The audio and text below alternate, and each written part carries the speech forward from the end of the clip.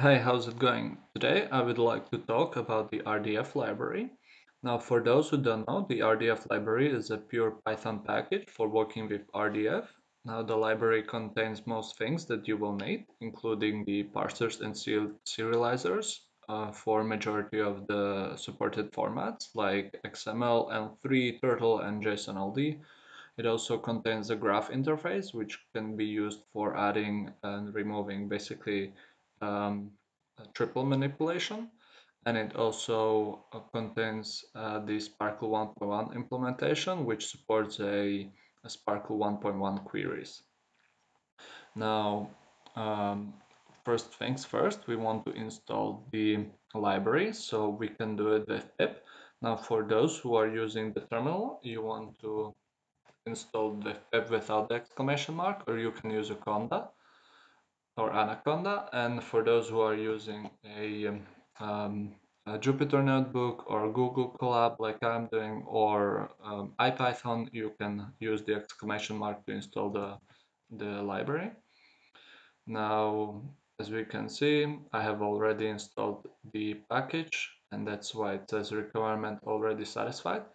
Now, next thing to make sure that we have installed the uh, package, we can use the pip show which is going to tell us uh, more details about the libraries, like its version, the author, etc., etc.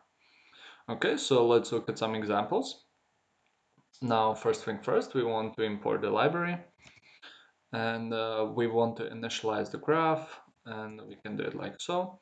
And then the next thing um, we can do is parse the the RDF graph from some external source. So I'm going to parse the uh, Michael Jackson entity from DBpedia. Let's look, take a look at the graph itself. So this is how the Michael Jackson entity looks like in DBpedia. Yeah, it's basically a set of uh, property and values and it's pretty extensive. So let's go back. So let's run this. Um, there are many different ways how you can parse the graph. You can uh, parse the local graph from the file, from the string, or from some external graph uh, that you can access uh, in the browser. Now, next thing that we can do is uh, let's iterate over the each triple in the graph.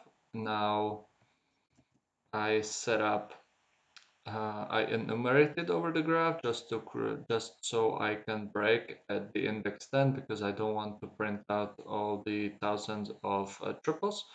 Now you can do it like so and uh, also the triple is uh, containing the subject predicate object. So basically if I want to print out only the subject, I can do something like this. Now, the next thing that we can uh, check out is the length of or the size of the graph. We can just run the uh, length method, and this is going to return us the number of triples or the facts inside the graph. And then lastly, we can also serialize the graph and specify the format that we want to use. And if I run this, this is going to return me a huge um, uh, string yeah. So this is the uh, complete uh, version or of the uh, Michael Jackson graph from DBpedia and then we can uh, pass it to a variable and then we can save it to a file for example. Okay so let's look at some more example a more extensive example. Now again we are going to create a graph and uh, in this case we are going to create a node and uh, we want to identify this node by the RDF URI so we are going to give it some uh, some URI and in this case I'm going to define node called Mason which is going to be a, a type person and it's going to have a nickname called Mason with the language English and I'm going to give it a name, which is going to be a literal value of, of the Mason Carter, and I'm going to give it a, a um, um, mailbox, um, which is going to look like this. As we can see, we can um, all, all of these are represented as triples and they can be simply added to the graph by the add method. and um, yeah, they have to be represented in a tuple. Now let's run this and uh, we are going to do the same for another entity which is going to be uh, another node which is going to be called uh, Sheila. Now the only difference between the first one is that instead of defining a language for this literal we are going to define a data type which is going to be the XSD of string. Okay, so let's run this. Now, similarly as in the previous example, we can simply overrate, iterate over the list of these triples. Yeah, we can um, uh, print out the subject predicate object or we can just print out one of these three as we would like. Now, let's say that we want to get or access only the nicknames of the of the entities which are of type person. So what we can do is we can first get all the entities which are of type person. So first thing first, we want to um, iterate over this subject. So we can do it by defining the g.subjects method. And then we are going to specify a filter. And this is going to filter all the entities which are not of the RDF type and uh, the object is FOAF of person. Now when we have that we can then iterate over the um, list of objects and define another filter which where the uh, subject is going to be a person from the first loop and then the predicate is going to be the FOAF of nickname and then this should in theory print out all the uh, nicknames of those two entities.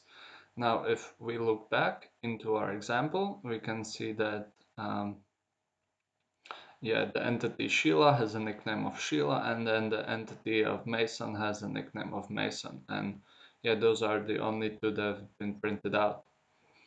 Yeah, and then this last example, I'm just going to bind a FOAF namespace to a prefix. So this is our namespace, which I have imported here. And uh, I'm going to bind it to a prefix of FOAF just for the, just so the output is more readable.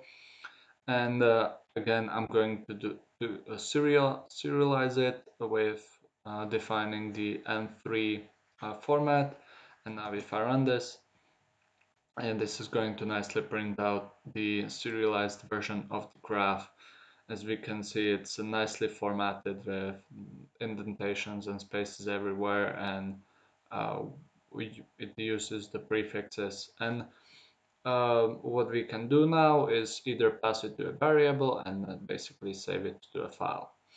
Yeah, so this is the introduction to the RDF lib library and in the next video I'll be talking more in depth about the about this library, talking about like the loading and parsing and uh, further deep, deep dive into the um, graph manipulation and etc. Yeah, so thank you for watching and I'll see you next time.